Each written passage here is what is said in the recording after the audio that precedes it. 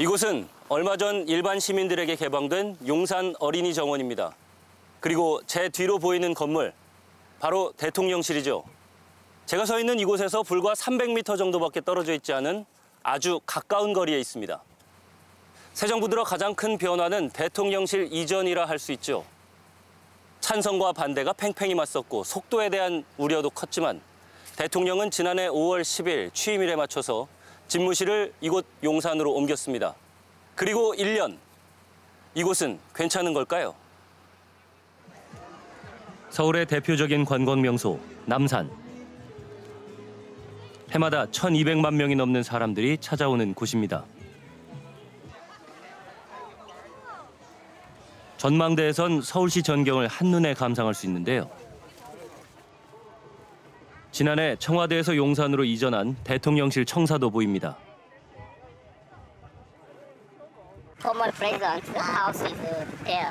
Okay. It's yeah. blue house because the roof color is blue. Okay. A new president, my new president is moved here because Ah. is, uh, they think it's, uh, it's not good. Old house. Ah, 맞나요? it's not that- 어, 난- 이게 민간에서 예, 얘기했겠죠. 예, 예. Anyway, it's, uh, she want to move this new Oh, so place. he wants to move back. Yeah, yeah, yeah. Ah. 보안상으로 좀 좋지는 않은 것 같아요. 너무 개방적이고 글쎄 사방을 다 둘러봐도 조금 그런 면이 있는 분명히 남산 둘레길엔 전에 없던 경비 인력들이 배치됐습니다. 카메라가 보이자 경찰이 다가옵니다. 네. 어떤 용어로 오셨는지 한번 여쭤봐드리겠습니다. 왜 여기서 찍으면 안 되나요? 보존이 나 그래서 이쪽으로 촬영이 금지되어 있습니다. 마가 카메라든지 아니면 줌이 지금 줌 카메라, 줌 같은 것도 안 되고요. 스마트폰 줌도 안 돼요, 스마트폰도. 근데 여기 내려가다가 보이는 데서 저희도 그게 이해가 안 되는데 저희가, 저희가 뭐 자의적으로 판단하는 건 아니니까. 여기만 막으라고 지시가 된 거예요. 네. 지난해 8월 대통령 관저가 있는 한남동 일대는 군사시설 보호구역으로 지정됐습니다. 하지만 근처 공원에서도 쉽게 바라다 보이고 통제하는 경찰이나 안내문도 없습니다. 그 용산 공원이 개발지잖아요. 주변에. 기- 과거의 청와대와는 지형, 지리적으로 좀 달라요. 주변의 건물들이, 민간 건물들이 대단히 많잖아요. 고층 건물이. 이게 전부 통제할 수 있는 게 아니에요. 대통령실을 용산으로 옮긴다고 했을 때 가장 우려됐던 건 안보 문제였습니다. 저희 남편 사무실이 이쪽인데 자기 사무실에서도 보인다고 저격 포인트가 몇 포인트 된다고 그런 얘기도 하더라고요. 저희는 창문 열면 거기 다 보여요. 거기 이렇게 차가 이렇게 들어가 나갔다는 게 다 보이죠. 어, 사무실 정문이 이렇게 들어가 현관 들어가는 게 다 보여요. 창문 열면. 고층 건물들이 늘어선 용산. 대통령실 맞은편엔 최고 40층에 달하는 고층 아파트들이 들어서 있습니다. 이 아파트에선 대통령실이 얼마나 잘 보일까 직접 올라가 봤습니다. 어머 너무 잘 보여요.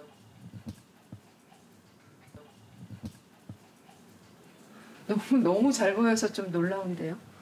대통령실 보이고 합창 건물 보이고 사람들이 서 있는 게 보이고요. 움직임도 다 보여요. 글자도 잘 보이고. 운동장의 사람들도 드나드는 차량도 선명하게 보입니다. 아 진짜 아니 대통령실 view네요. 대통령실 view. 대통령실 바로 옆엔 여전히 미군 기지 일부가 남아 있습니다. 그러니까 미군 기지하고 담 하나 사이에 있고 대통령실이 이 끝에 있거든요. 그래서 내가 여기서 운동하다 공 차면은 미국으로 넘어갔다 그래요. 우리가 못 들어가니까 그래서 미군 그 카츄샤한테 공 달라고 해가지고 했던 그 기억이 나요. 미국 정보기관이 한국의 외교안보 고위 당국자들을 도청한 정황이 파문을 키우고 있습니다. 지난 4월 미 국방부 기밀 문건이 유출됐습니다. 문건엔 한국을 염탐했다는 내용도 있었습니다. 대통령실에 대한 도청 의혹이 불거졌습니다. 온라인을 통해 유출된 100여 페이지에 달하는 기밀 문건. 그 안엔 우크라이나 포탄 지원 방안을 놓고 고민하는 한국 국가안보실 고위 관계자들의 3월 1일자 대화가 고스란히 담겼습니다. 직접 듣지 않았다면 알기 어려운 구체적인 내용.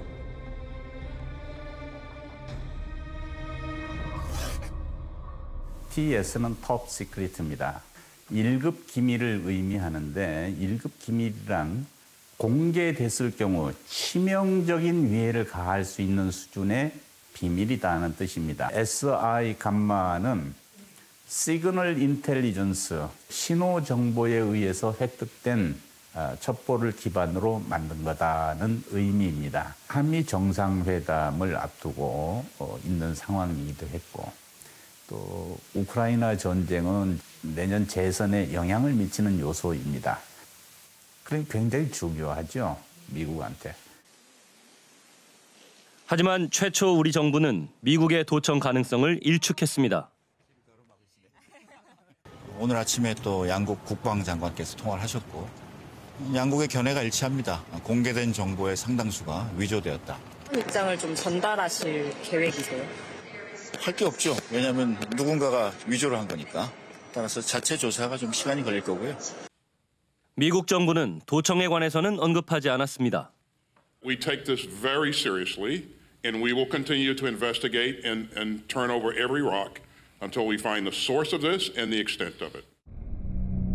첫 보도 후 5일 뒤 기밀 문건 유출 혐의로 미 공군 일병이 긴급 체포됐습니다. 미국의 도청 의혹은 사실상 인정되는 상황. 동맹국인 미국이 우리에게 어떤 악의를 가지고 했다는 정황은 지금 발견되지 않고 있습니다. 문건에 등장하는 김성한 전 국가안보실장을 찾아갔습니다. 네, 안녕하세요. 저 MBC에서 나왔는데요. 도청 관련해서 이문희 외교비서관이랑 말씀하신 게 도청이 됐잖아요. 알겠습니다. 제가 그 수고.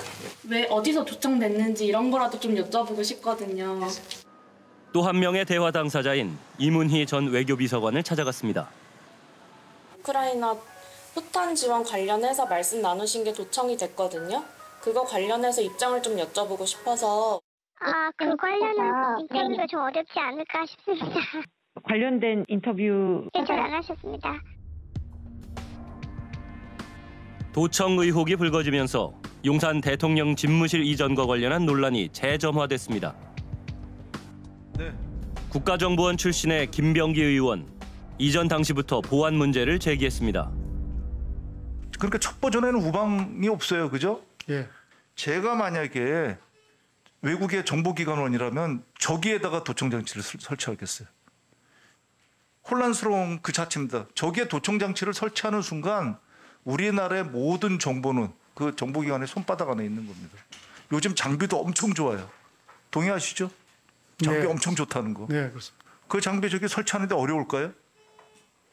그렇게 어렵진 않다고 봅니다. 대통령실 이전 준비가 한창이던 지난해 4월 국회 국방위원회 소속 의원들이 국방부 청사를 찾았습니다. 업무가 마비되구만 완전히 업무하겠어요 이렇게? 현장에선 이삿짐을 옮기는 동시에 리모델링 공사도 진행되고 있었습니다. 돗대기 시장이죠.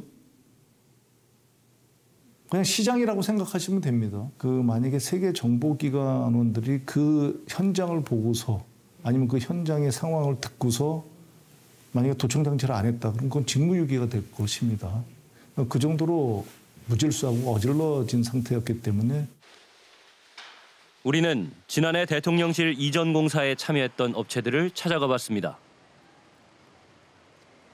당연히 보안각서 이런 거 다 쓰고 들어가죠. 당연히. 보안각서에는 뭐 먹었어요?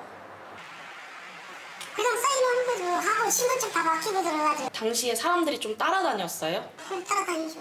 한 분씩 따라다녀요? 한 번씩은 아이고 오랑내리락 들어오기 전에 소지 프로이랑 다 내거든요. 검열대를 지나가야지만 들어갈 수가 있어요. 자재 검수도 다 저기 탐지기로 다 하고요. 이사와 리모델링 공사가 한꺼번에 진행되면서 작업 현장엔 수백여 명의 인부들이 동원됐다고 합니다. 저희 같이 좀, 좀 약간 소규모 인력 사무실은 솔직히 관급이랑 잘 못해요. 어, 근데 어떻게 이번에는 이렇게 들어가신 거예요? 급하게, 급하게 된 거잖아요, 공사가. 거기는 갑작스럽게 일어나는 공사고 하니까 저희들한테 기회가 온 거지. 근데 보통 저희 뭐 인력 사무실들은 한 명당 나가면은 많이 나가봐야 다섯 명, 세 명 나가는데 거기는 한 하루에 막 많이 나가서 열다섯 명, 이십 명도 나갔으니까. 인력사무소를 통해 작업에 투입됐다는 김모 씨. 현장은 무척 혼란스러웠다고 합니다. 안에 있는 짐, 국방부 원래 짐을 실어 나가는 이사도 하고 있었고 안에 있는 내부 철거도 진행되고 있었고 또 동시에 이제 인테리어 작업도 진행되고 있었고 그러니까 어느 층을 가든 사람들이 여기저기 달라붙어서 다 작업을 하고 있고 휴대전화 기능을 제한하는 보안 조치가 있었지만 과연 현장에선 잘 지켜졌을까?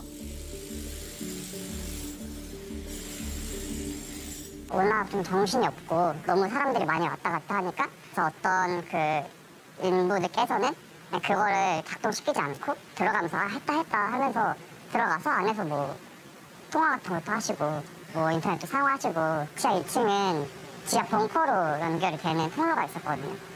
작업을 하러 들어갔었는데 그런 국방 관계자분으로 보이시는 분들이 뭐 회의를 하고 그런 점을 봤었거든요. 네, 근데 그런 현장에 저희가 어떤 뭐 특별한 인가나 아니면 관리 감독을 받지 않은 채로 출입하면서 뭐 이렇게 물건을 정리하고 또 현장을 정리하고 대통령 집무실은 가급 국가보안시설. 출입하려면 신원 조회 절차를 거쳐야 합니다. 전날에 문자로 보통 통보를 받아요. 그냥 국방부 뭐 서문 쪽으로 그 다음날 아침 7시까지 나가라. 제가 하는 절차는 신분증을 내는 거밖에 없었고 신원 조회도 막 며칠씩 걸리고 그러지 않아요? 신원조예요? 응. 아유 그렇게 안 걸리죠. 아 무슨 뭐 구조원 그 살아보는 것도 아니고 신분증 갖다 미리 사전에 주죠 전화번호. 아침에 이제 어, 뭐 이런 확인하고 통수 들어가는 거죠. 대통령실을 비롯해 국방부 경내에선 동시다발로 공사가 진행됐습니다. 자재 검수는 응, 첫날 이제 뭐 연장 같은 것만 일단 거기 뭐 기계식으로 한 번은 해요.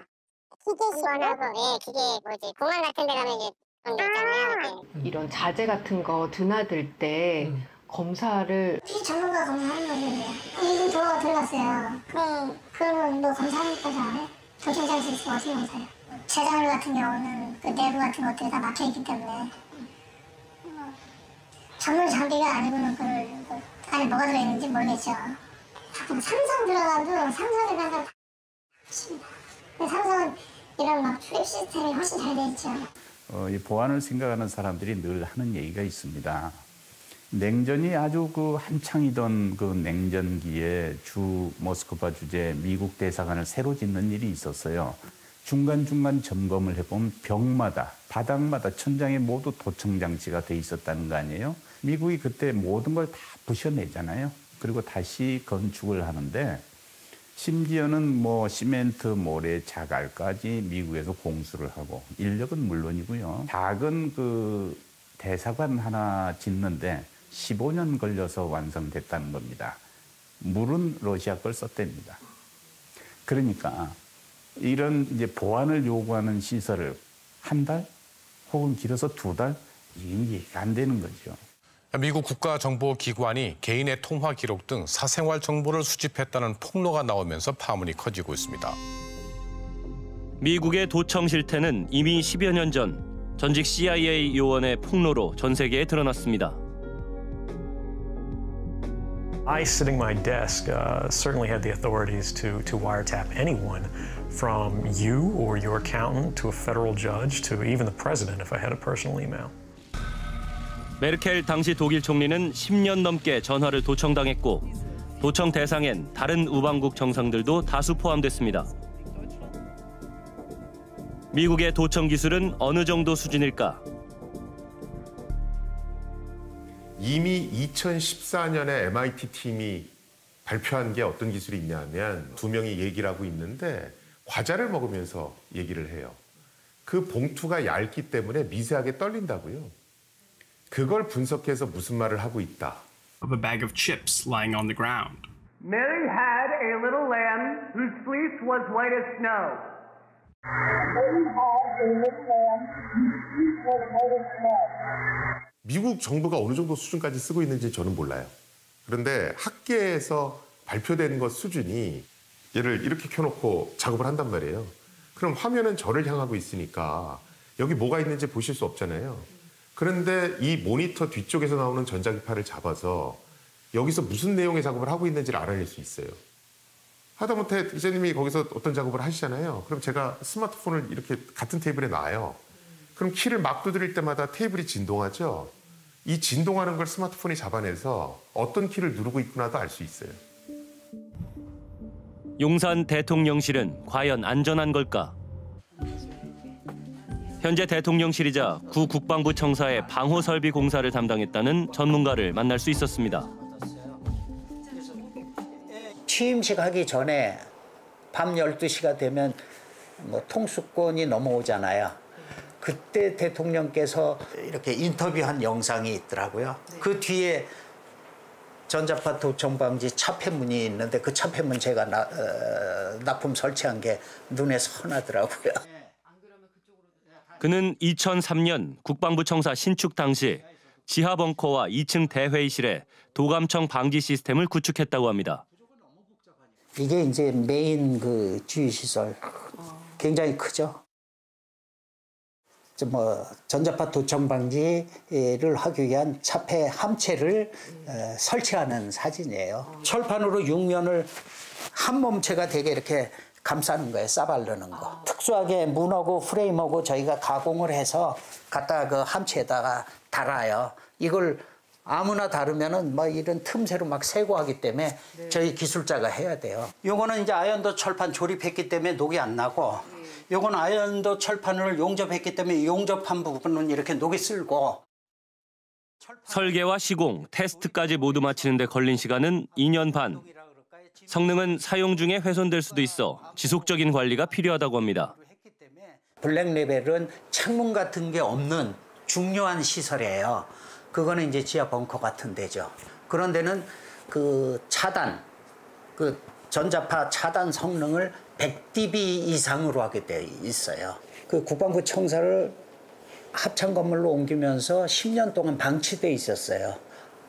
2003년도에 완공을 해서 설치 완공을 해서 국가 시험할 때는 100dB 이상 다 나왔어요. 전체가. 그런데 12년도에 가서 검사를 하면서 보니까 뭐 한 50dB 그 정도 수준이었어요. 50dB 정도 되면은 그냥 뭐 고성능 그런 에, 미공개 장치로는 다 훤히 볼 수 있는 거죠. 하지만 예산 문제로 당시 훼손된 부분에 대한 보수 공사는 진행되지 않았다고 합니다. 거기 안 했던 사람들은 어디가 뭔지를 몰라요. 어느 부분이 어떻게 됐는지. 그렇기 때문에 뭐 두 달 안에 인테리어 하는데 그걸 고친다는 건 어, 힘든 일이죠.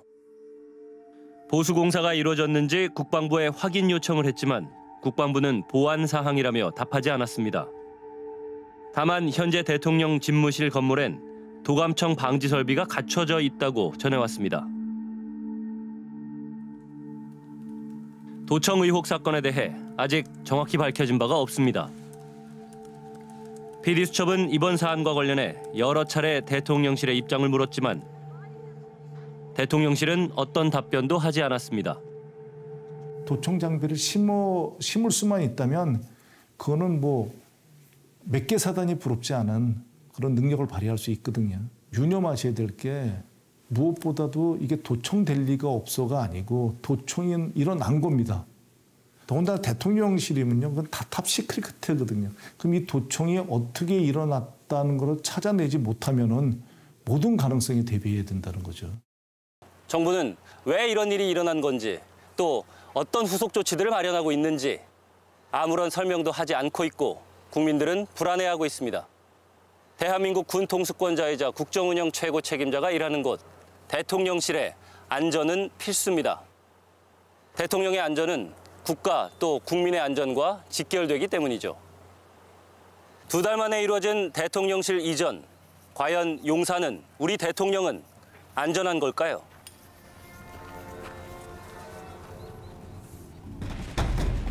지난해 연말 김포시에서 드론 조종 교관으로 일하는 이영로 씨는 심상치 않은 장면을 목격했습니다. 2차 대전에서나 들을 법한 요즘에는 듣기 힘든 이제 프로펠러 비행기가 지나가는 소리가 들렸어요. 약간 형체도 어, 옛날 비행기처럼 이제 어디 있어? 어, 여기 있다. 전쟁 영화에서나 볼 법한 비행기와 헬기가 같은 장소를 반복적으로 오가더니 뒤이어 요란한 소리를 내며 전투기까지 등장했습니다. 지금 마지막으로 뜬 게 16분 전이에요. 5분에 한 번씩 뜨는데? 진짜 뭐가 왔나? 정신을 차려보니까 비행기가 안 지나다니고 있는 거예요. 계속 봐도 그래서 레이더를 봤더니 한 시간 정도 비행기 안 뜨고 있는 상황이었고 그때서야 어 이거 뭔 일이 났나 보다 좀 진짜 북한 쳐들어왔나 뭐 이렇게 생각을 하면서 좀 심각해졌었고 같은 날 오후 경기 북부 지역에서도 비슷한 광경이 목격됐습니다. 천천히 날고 있는 비행체를 봤고 그 후에 바로 우리나라 헬기들이 한 두 대가량이 그 주변을 돌고 있는 거를 목격하게 됐죠. 정체불명의 비행체는 북한의 무인기였습니다.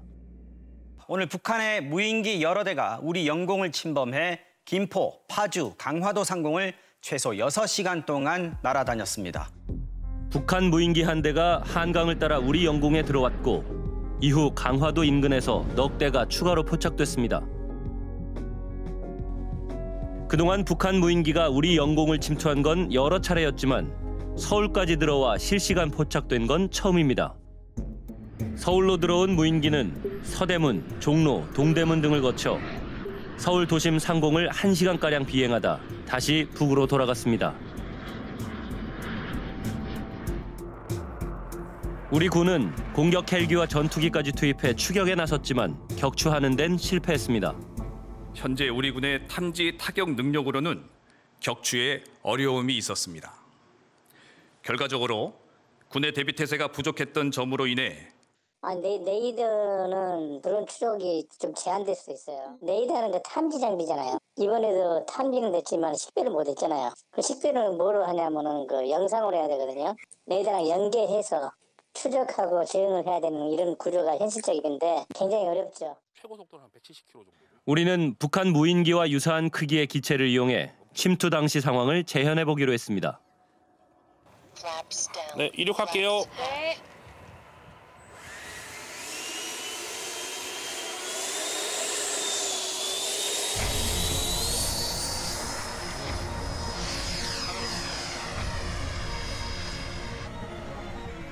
당시 북한 무인기는 시속 약 100km의 속도로 비행했습니다. 거리가 멀어지자 육안으로는 식별이 어렵습니다. 거기 지금 새, 새잖아요. 저기 저기 저기 보시면 새 새하고 비행기하고 구분이 안 되죠. 저 정도 거리면 구분이 잘 안 돼요. 비행기하고 새하고. 저고도로 비행하게 되면 탐지는 굉장히 어렵다고 볼, 봐야 될 것 같고요. 진짜 뭐 다 작정하고 저기다 포탄 달고 들어가면 못 막, 못 막죠. 뭐 막을 수가, 막을 수가 없죠. 갈수록 고도화되고 있는 드론 기술. 북한 무인기 역시 드론입니다.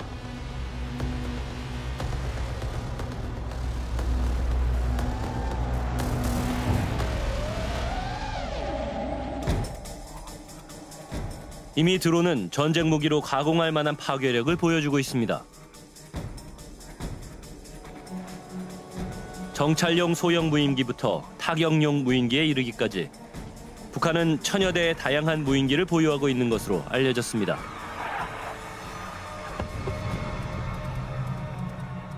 공중에서 테러는 속도가 너무 빠른 겁니다.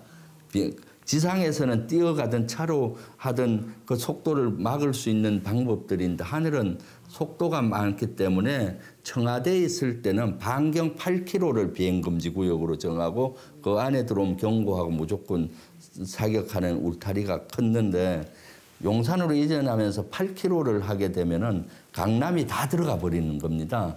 그래서 반으로 줄였어요. 청와대를 중심으로 반경 8.3km였던 비행 금지 구역은 용산으로 대통령실을 이전하면서 3.7km로 축소됐습니다. 용산으로 가게 되면 기존의 민항기의 항로 문제 때문에 한 2해리 정도로 축소된다고 해요. 이게 언제 만들어졌냐면 1960년대 초에 만들어졌습니다. 예. 지금은 저희가 제공권이 있고 또 레이더 능력이나 감시 능력이나 관제 능력이 과거에 비해서 이루고 비교할 수 없을 정도로 굉장히 능력이 뛰어나 있습니다. 3.7km 정도까지만 해도 충분히 안전을 확보할 수 있다. 용산 지역은 뭐 아시겠지만은 그 국방부 합참 건물 주변에 사실은 고층 아파트가 즐비합니다. 도심의 한가운데고 대공 무기 체계를 용산 지역으로 재배치할 때 시민들의 그 사유 재산권을 침해하거나 피해를 줘서는 안 되다 보니까 대비 태세의 수준을 떨어뜨릴 수 있는 요소들이 또 거기에 있는 것이죠. 왜 무인기가 용산에 들어오는 걸 알면서도 격추를 못했겠어요? 대통령실을 중심으로 동서남북이 전부 대도심이에요. 도심이란 얘기는 뭐냐? 고사포를 쏘더라도 안 맞으면 도시에 떨어져요. 그 탄이. 그럼 누가 피해봐요? 민간인이 죽을 수 있는 거예요. 그래서 쏠 수가 없는 거예요. 눈앞에 보고 있는데 이거를 공격할 수가 없는 거예요. 우리가 기존에 갖고 있는 격추, 어, 할 수 있는 타격 체계로는 서울 한복판을 누비면 공격을 못 한단 말이에요. 과거 대통령 집무실인 청와대. 서울 중심부에 있지만 도심 밀집 지역에서 떨어져 있고 주변은 높은 산이라 대공 방어에 최적화돼 있습니다. 저기입니다. 저기에 부대예요.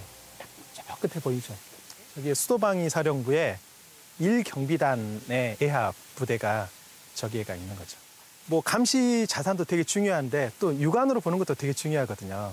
그러니까 예전 같은 경우 저렇게 위에 올라가 있으면 저기서 이 청와대가 다 보이게 되고 어 뭐 무인 드론이라든지 적 항공기라든지 이런 것들이 출몰했을 때 근데 저거를 육안으로도 하- 확인할 수도 있고 저기에 이제 감시 장비들이 있는 거죠. 아, 저 저게 이제 북악산인데요. 이 청와대를 요격하기 위해서 쏘게 되면 어, 그거를 미사일로 방어하는 방어 체계가 이 북악산에 배치되어 있는 것이죠.